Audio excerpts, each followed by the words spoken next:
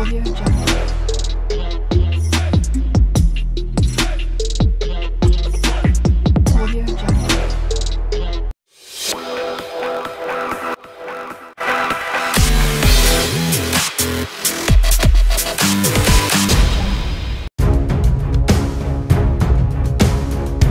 stadion untuk Piala Dunia U20 2023 di Indonesia terancam dikurangi.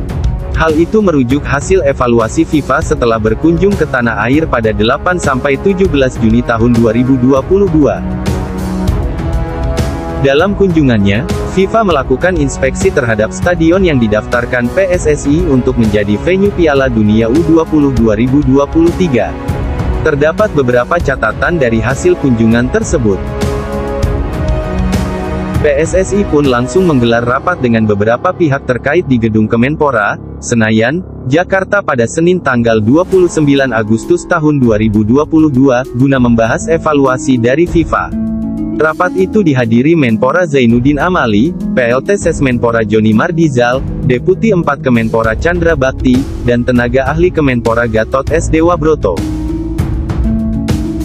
Sedangkan dari PSSI hadir Ketua Umum PSSI Muhammad Iriawan, Waketum Iwan Budianto, Sekjen Yunus Nusi, Wasekjen Maik Ira Puspita, dan Direktur Teknik Indra Syafri. Kami semalam rapat dengan seluruh kementerian lembaga terkait harus betul-betul kerja. Keuangan, imigrasi, kepolisian, sudah kami diskusikan semua, kata Iriawan saat ditemui di lapangan Asenayan, Selasa, tanggal 30 Agustus tahun 2022. Lapangan bertambah tidak ada. Kalau pengurangan ada kemungkinan. Tapi kami berusaha tetap 6 venue. Yang jelas rumput harus dikupas. Termasuk SUGBK, jelasnya.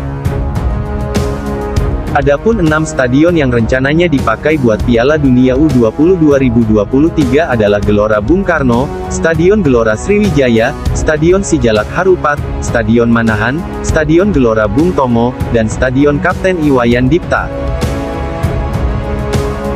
Sempat ada wacana Stadion Gelora Bung Tomo akan dicoret dari daftar venue.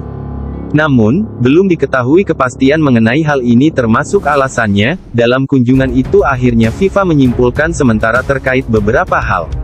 Misalnya rumput stadion dan rumput lapangan latihan, tutur Iriawan. Kemudian juga ada jenis pekerjaan yang harus dilakukan.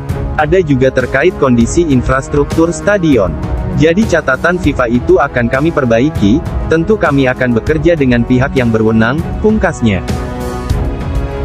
Sebelumnya, Indonesia sejatinya ditunjuk jadi tuan rumah pada tahun 2021. Akan tetapi, Piala Dunia U20 2021 dibatalkan karena pandemi dan Indonesia tetap dipilih jadi tuan rumah tetapi digeser ke 2023.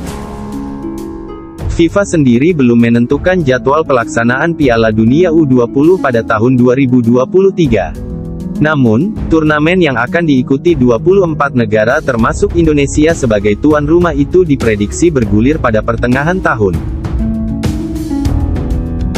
Meski demikian, FIFA yakin Indonesia bisa menuntaskan semuanya dengan baik, mengingat adanya kerjasama antara PSSI dan pemerintah Indonesia.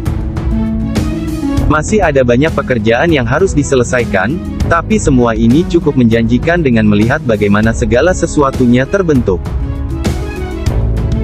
Saya yakin bersama dengan panitia penyelenggara lokal, kami dapat menghasilkan turnamen yang sangat baik.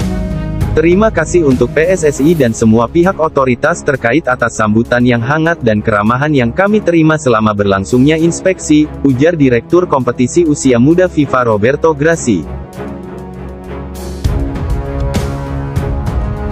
Tersisa waktu beberapa bulan untuk bisa menyelesaikan perbaikan rumput stadion dan sarana infrastruktur lainnya, apakah PSSI bisa menyelesaikan itu semua, apalagi ini acara bergengsi kelas dunia, dan tentunya membawa nama baik dan citra Indonesia, mari kita doakan semoga perbaikan sarana olahraga untuk Piala Dunia U20 bisa terselesaikan.